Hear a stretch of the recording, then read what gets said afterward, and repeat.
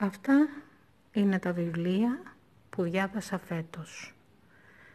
70 είναι εδώ,